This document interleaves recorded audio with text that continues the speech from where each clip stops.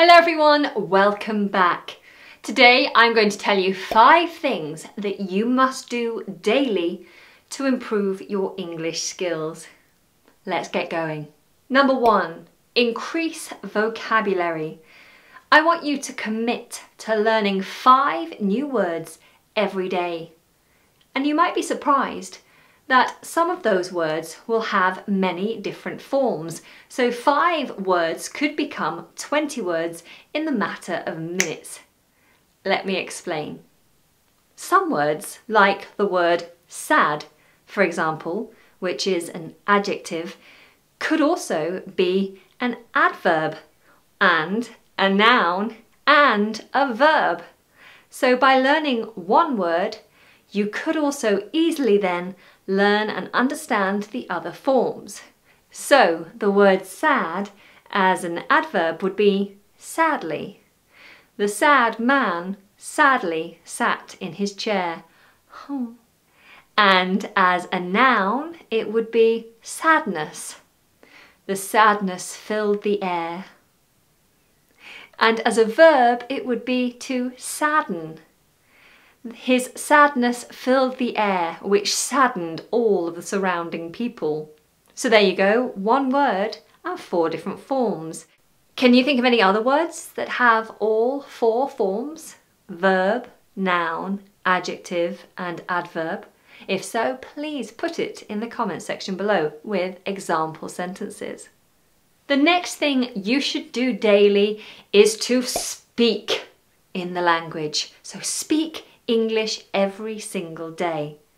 Predominantly language is spoken, but many students feel least confident when it comes to speaking, and this is because they don't practice often enough. Number three, read. No matter what level you're at, I recommend that you read a news article. Let's say we choose the BBC News website go to the World News section and choose a story you have already heard about in your own language.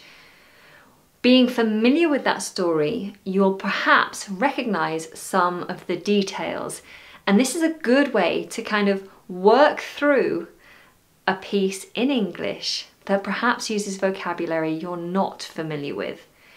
Hopefully the context will help, where you understand some of the words in a sentence but not all. But because you know the story already, you might be able to work things out and fill in the blanks. If you are at a very advanced level, then perhaps mix things up. One day go to the sports section and read a sports article. Another maybe look at a science article or something on lifestyle and health. Number four, watch. Watch a series or a film, ideally one you're already familiar with, that you've seen perhaps dubbed into your own language, or one where you've read the book and now you're going to watch the film.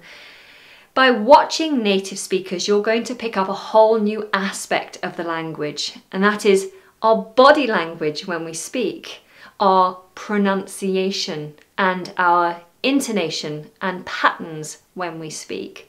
All this will help you to become more comfortable and familiar with the language. And finally, number five, recap. As you're doing this work daily, it's important that you don't forget the things you've learnt before. So let's just take those five new words that you're learning every day. Be sure to write them down in a little notebook. Carry that notebook with you everywhere you go and keep adding to it. Then at the end of each day, perhaps as you lay your head down to rest, just pull out your book and have a look through your notes and remind yourself of the vocabulary you've learnt over the past week. By constantly revisiting old information, it helps to solidify, I love that word, solidify that knowledge in your brain, keeps those memories nice and strong. So to recap, we're going to learn five new words every day in all of their forms. We're going to try to speak with a native teacher on a regular basis. If you can't afford to take lessons, then perhaps try and find a language partner who is also learning, who can help you. Number three is to read a news article each day. Number four is to watch a program or a film in English every day. And number five is to recap all the things you've previously learnt, or some of the things at least. So do let me know in the comment section below what you do daily in order to improve your language skills. If you do anything that I've already mentioned, then please tell me about it. How is it working for you? Otherwise, please give this video a big thumbs up. If you're learning English, then don't forget to subscribe and I'll see you in the next lesson.